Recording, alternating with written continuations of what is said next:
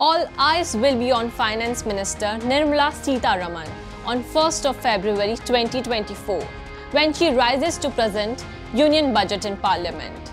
But did you know that Sitharaman has delivered one of the longest country's budget speeches? Well, back in 2020, Finance Minister began delivering her budget speech for next financial year and spoke for nearly 2 hours and 42 minutes, breaking her own record of previous year, when budget speech lasted for good 2 hours and 17 minutes. Until that moment, the longest budget speech ever delivered in Parliament was in 2003 by Finance Minister Jaswant Singh, which lasted for 2 hours and 17 minutes. However, if we go by numbers of words spoken rather than the amount of time it took to present the budget, it's not Nirmala Sitharaman who wins the round.